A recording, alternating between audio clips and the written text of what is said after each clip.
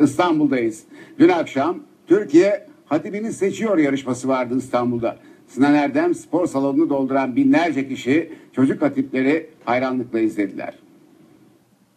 Geliyor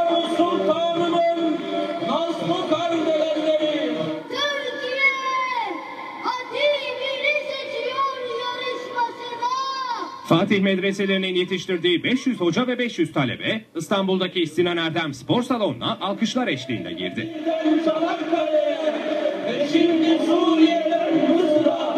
81 ilden geldiler. Dün de final gecesi yapıp hatiplik için birbirleriyle yarıştılar. Efendimiz Hazreti Muhammed Mustafa Tüm yarışmacılar sahneye tek tek çıktı. Seçtikleri konular üzerinden konuştular. Biz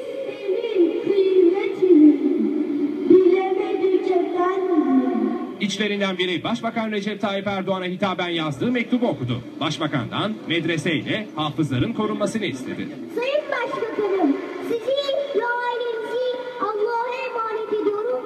Jüri üyeleri değerlendirmesini yaptı. Hocalar dalında Osman Bayraktar, talebelerdense Muhammed Fatih Küpelioğlu birinci oldu. Hepsini tebrik eder. Birinci olan hocaya 20, talebeye ise 6 bin lira ödül verildi. Finalisti birinci yarışmacımız